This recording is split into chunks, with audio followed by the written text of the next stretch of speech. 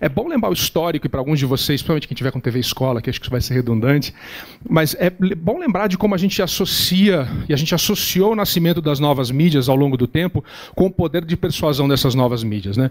É, o, a imagem do funil de Nuremberg é muito interessante, como a, a, a, educação bancária de Paulo Freire, ele fez um remix do funil de Nuremberg. Né? É, essa ideia de que você pode é, enfiar conteúdo na cabeça das crianças é uma, é uma ideia antiga. Né? Ela não vem com Freire, mas é, ela é potencializada por ele. E a gente tem essa, esse histórico, esse pensamento sobre as mídias desde quando elas nascem. Interessantemente, no Brasil, é, a mídia já nasceu educativa. Na verdade, dizem que, por exemplo, o cinema já nasceu educativo mesmo na França, né? mas o cinema, no Brasil particularmente, o uso das mídias, ele já nasceu com um propósito educativo, não foi apropriado para a educação. Se você pegar, por exemplo, um dos primeiros filminhos feitos no Brasil, que é do Humberto Mauro, Descobrimento do Brasil, quando ele faz o filme, o filme já nasceu com um propósito educativo dentro de uma agência educativa. Ele não foi feito para uh, divulgação geral e as pessoas, putz, que legal, vamos ensinar sobre o descobrimento do Brasil para as crianças agora e adaptar esse roteiro para o contexto educacional. É, é um bom filme, vale a pena ver, dentro do parâmetro que ele foi feito.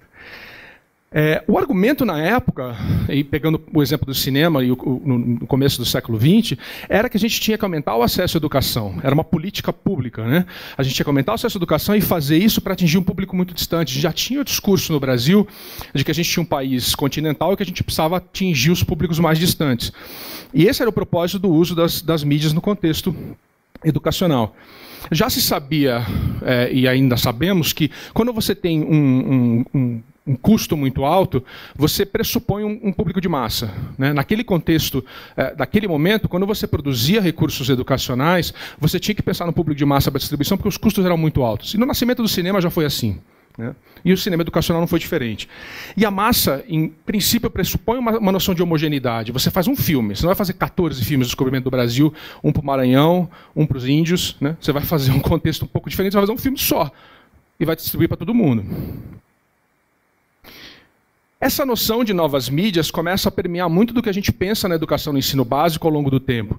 É, o ensino aberto, muita gente bota lá para correspondência, a gente pode voltar muito antes disso se você quiser, mas o cinema começa a popularizar isso, rádio, televisão, e depois a gente entra nas universidades abertas, formalmente nas instituições, lá para os anos 60. No ensino básico, a gente começa a discutir essa, essa palavra de educação aberta, ou aberto entra na discussão, quando entra o movimento de open schooling, particularmente na Inglaterra, nos anos 50, que depois os americanos pegaram e fizeram uma polvorosa em cima disso. Mas o, o open schooling é, era um, uma ideia de abertura no sentido é, de, de, várias dimensões da educação é, básica pensar no espaço, fazer com que o espaço fosse literalmente aberto, aquela ideia de quebrar as paredes, começa no Jardim da Infância no Reino Unido. A, a, noção de tempo flexível, de você não ter que aprender naquele exato momento, né, sentar para mexer naquele negócio aquela hora, porque todo mundo tem que sentar aquela hora e fazer aquele negócio. O agrupamento condicional, no sentido de que se você tem dois anos e o outro tem três, não interessa. Se vocês querem fazer a mesma coisa, vocês podem sentar e fazer naquele momento e a mediação do professor como um elemento essencial. É que o professor não ficaria ali palestrando. Isso que se eu tivesse tirado o slide aqui, Open Schooling, falaria, nossa, você está falando de educação aberta contemporânea. Isso é jardim da infância da Inglaterra do, do, da década de 50. Esses princípios já saem de lá e a gente esquece que eles vieram daquele contexto.